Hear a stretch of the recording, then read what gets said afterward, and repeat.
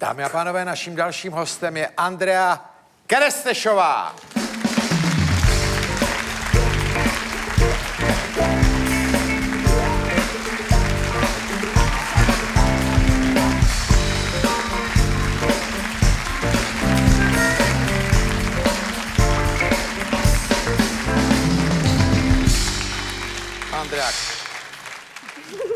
Jo, on pan režisér to s herečkama vždycky uměl velmi dobře. A tady Václave je Jo, děkuju. tvůj alkohol. Hodí se, děkuju. A Andrea Krestešová je herečka, to asi dneska už tady skoro každý ví, a kdyby náhodou ne, eh, která hraje ve všem možným. Teď ale má premiéru filmu, že jo? Ano. Který dokonce spolu produkuje televize Prima. Ano. Který se jmenuje Celebrity... SRO. SRO.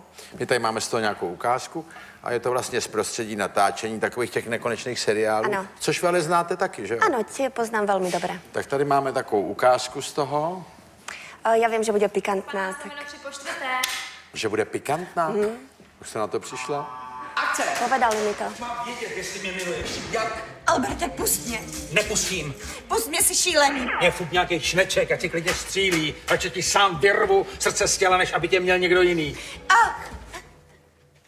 Albert, Stop! Co se stalo? nemůžu. No tam drží. Boříšku! No? Pojď sem. Ona tam drží. No, to prosáklo. No tak co s tím? To je jednoduchý, musíme to odtrhnout, takže buď tapeta nebo halenka.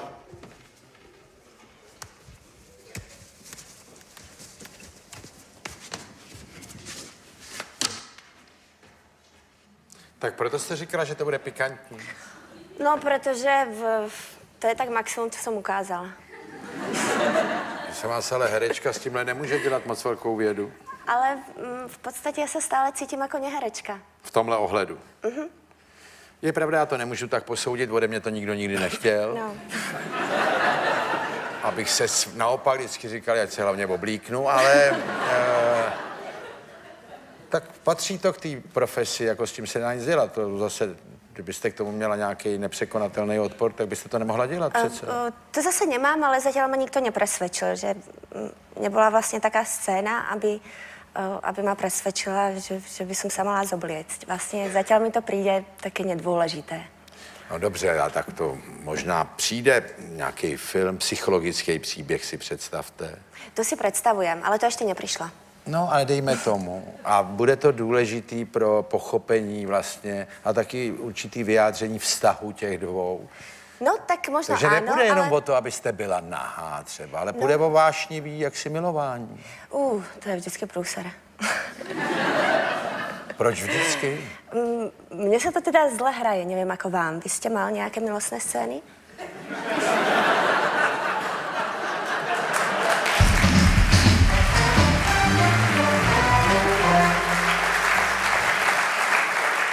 S ohledem na moji hereckou minulost bych to mohl považovat za urážku, Tak jsem to nemyslela. ale já to přejdu velkoryse. Byl Je jsem, to já jsem byl svolný, ale nikdo o to nestál. Eh, No, ale tak eh, já chápu, že to má svoje limity, no, no na druhou stranu ty herečky to pak umějí tak rutině přijmout a popisují to tak, že to je práce jako každá jiná. Dokonce pornoherečky říkají, že je to práce jako každá jiná. To ano. A ty jsou o kategorii jinde. Ne, a tak si myslím, že herečka přece často hraje o lásce, jako když je mladá, že jo. Ano, ale já si myslím, že se to vždycky dá spravit tak, eh, že tam bude trochu erotika, ale že zároveň nebude vidět všetko. To si myslím, že No tak častokrát všecko vlastně... ne, samozřejmě, no. No, ale tak, aj ta bradavka například je pro mě citlivá, tak proč by se ukazovala? A která? V obě, jo. A dneska se ženy koupou do půl těla, vy to máte jako... Rozumíte? Dneska, když se jdete někam na plovárnu, tak polovina žen je tam bez. Fakt, já tam nechodím, takže nevím. No tak vy musíte nejdřív na plovárnu. No ne, a já, no tak vy máte takový, jsem si všiml, v něčem pro mě sympatický eh, způsob přístupu. Eh, Někde jste zmínila, že odmítáte takový ty diskuze o plánovaných miminkách a podobně. To se mi zdá sympatický. Protože já nechápu ty, co to tak otevřeně plánujou, to vy nejste. No práve, to je vlastne strašne zbytočné. Ja to vlastne nerozumiem, že dospelí ľudia, ktorí sú častokrát starší ako som ja, No. mi vlastne dávajú tieto otázky. To je Že je proti logike. Lebo eh, v podstate je to tak intimná záležitosť. No je, eh, no teda eh, bejvala, dneska už to není tak. No, že mne to príde vlastne tiež úplne nevhodné. Takže viac On už menej... ani sex není tak intimní, jako bejval. On je spíš v oblasti fitness. Jako Podľa už. toho, ako si to... Uh, to zase záleží tiež na tom jedinci. Ako si to urobíte, tak toto máte. Takže môže byť to aj... To, Môže to když mluvíme o sexu, není dobrá věta, ale na druhou stranu je to...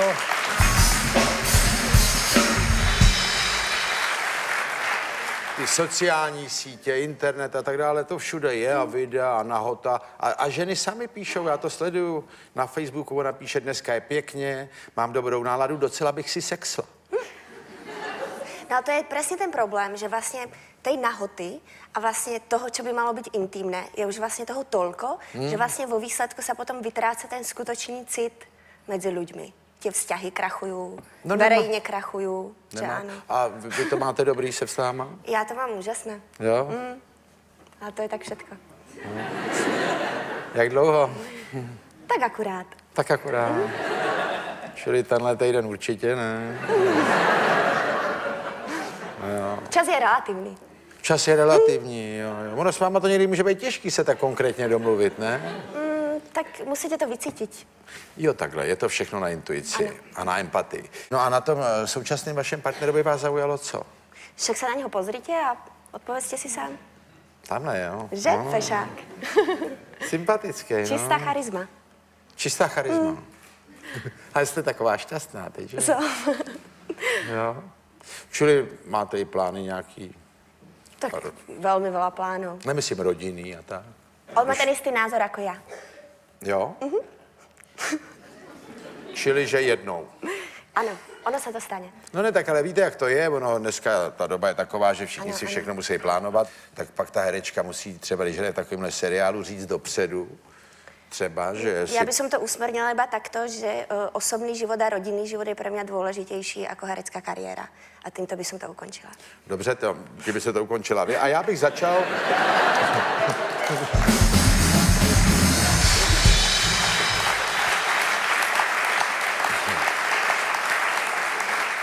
Já bych začal zcela jinou kapitolu o něčem jiném a to, kdy myslíte, že by to bylo asi? Že... V blízkej dobe. V blízké době? Mm-hmm. Jo. No ne, tak ono, herečky se taky bojí, že pak už se jako do toho zase nedostanou. Ja sa že- toho sa nebojím vôbec. Ne, ne, to vůbec. si nájdem úplne inú robotu. No to jsem se chtěl zeptat, vy byste byla ochotná dělat i jinou práci? Samozrejme. Jo. Mhm. Mm-hmm. A jakou třeba? Uh, fotiť by som chcela napríklad. To by ma bavilo. Ale nepatrím k tým herečkám, ktoré nejakým spôsobom lipnú na svojej kariére. Ne? Som si vedomá toho, že niekedy môže prísť čas a ja tú prácu nebudem mať a uh, nemienim sa z toho zblázniť. Jste taková, ale jako řádná i v těch názorech, taková odhodlaná. To sú názory, nevždycky vychádzajú. No, to je tak. Ale snažím sa uh, vlastne vedieť, čo chcem a čo nechcem. A prosím vás, když to tolikle máte, že ty seriály třeba, tak to je ohromný zapřah. Je tam něco, co vám tam hodně vadí, anebo jste tak disciplinovaná, že to přijímáte bez výhrad? Myslím si, že som disciplinovaná, Jo? ale nemám rada, keď... Um, No ven s tím. teraz neviem, či to môžem povedať. Ešte, Môžete. Teraz rozmýšľam, že či ešte nie som pod nejakou zmluvou. Nebojte se, no. Ale nie, som disciplinovaná, nič mi nevadí, možno keď musím Jo, skoro takhle nic vám vstávať. nevadí, najednou ste Skoro vstávať, keď musím, to mi No strašne vadí. no Lebo ja som ten typ, že keby bolo na mne, tak do tej 12. by som sa iba báľala doma.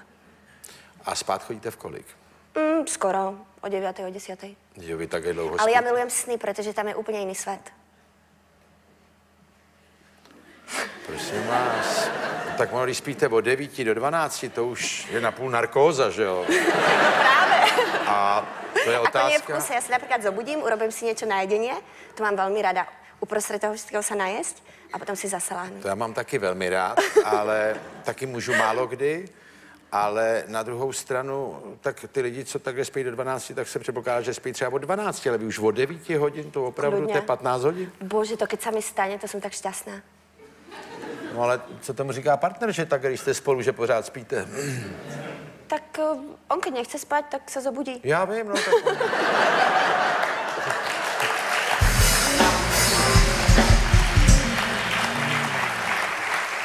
To je hezký, že jste takhle velkorysá, že se může zbudit, kdy chce.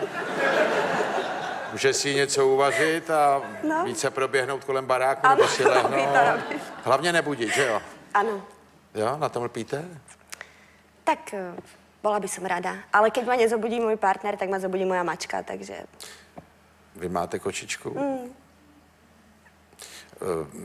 Prosím vás, já s tím mám taky trošku problém. Některý ty lidi pěstují ty zvířata tak, že oni jsou to opravdu členové rodiny, já to chápu, já měl psa 13 let a někdy mně to přijde, že je víc než člen rodiny. Jak dlouho máte tu kočičku? No my ju máme rok, lebo predtým som mala Jo, kocúra jo. 6 rokov a Šesť. ten, uh, hovorí sa zdochol, ale ja hovorím, že umrel. No, tak mne sa to nepáči, to slovo zdochol. To je také hnusné. No tak je to hnusný, no. Tak po ňom už je, on odišiel na všetkých svetých, to bolo tiež No také... tak to je dobře, a tuhle kočičku máte už s novým No. tady partnerem, že jo? no, Což je to, dobrý to, i hlavně tam, pro i tam partnera. ten už protože- bol vlastne taký, že No nebo on poznal ještě toho starého kocoura, jo? samozřejmě. Protože tam to pak bývá, že ta žena má toho kocoura před tím partnerem. Uh, no to tak akože bolo, že toho kocúra som má, ale, v, No, ale že ho on, kocúr, mi, kocúr mi môjho partnera schválil Jo, a takhle, tým pádom takto. mohol zdochnúť. Jo, jo. Asi tak som to... Mohl zdechnout a zdechnul naštěstí kocour teda, ale...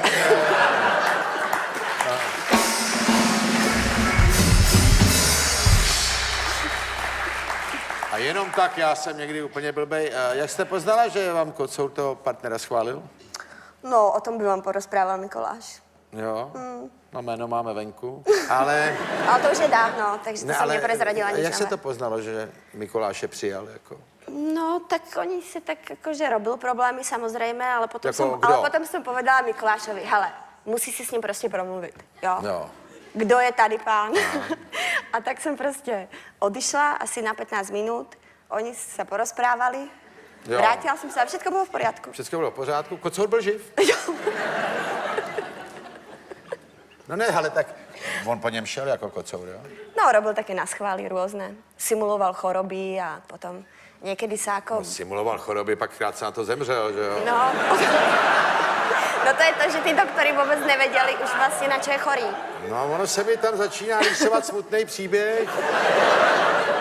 Kocoura, který měl smůlu, že přišel Mikoláš a nemocný kocour to odskákal, že jo? Ne, ne, Nedostal tu péči, kterou by měl, než tam byl Mikoláš. ne, to nie je pravda. A On, on mal úplně jiné problémy, ten kocur. no, dokud tam nebyl Mikoláš, tak bylo všechno v pořádku. nebylo, nebylo. Nebylo? Nebylo. A co bylo? On byl všetko možné. No, šest let jste ho měl, nebo kolik? No, 6 No, rokov. tak šest on let mal to od šlo. začátku například... Jak eh, dlouho potom, co přišel Mikuláš, zemřel ten kocour? No, dva roky, to je dost. Dva roky. Vydrželi dlho spolu. No tak Mikuláš vydržel víc. A my mu to přejeme, ale je to takový zvláštní a trošku to, tu moji představu, že někdy to zvíře je nad... On bol na mňa tak eh, možno až príliš napojený, ten kocúr. Ten, já bylo by třeba malinko odpojit. Čemu jste chytře využila Mikuláše a To nie, to nie. kocour se potom úplně definitivně odpojil. To nie, je mi to ľúto, ale stáva sa to. Stále, a v tomhle dobře být taky... Zvieratá umierajú, aj ľudia umierajú. Proste tá Ano. smrť je vlastne prítomná každý deň. Jo, děkuju pěkně.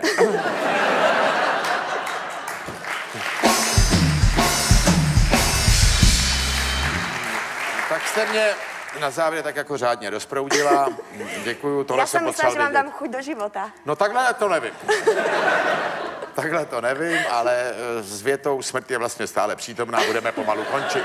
Andrea Kerestešová.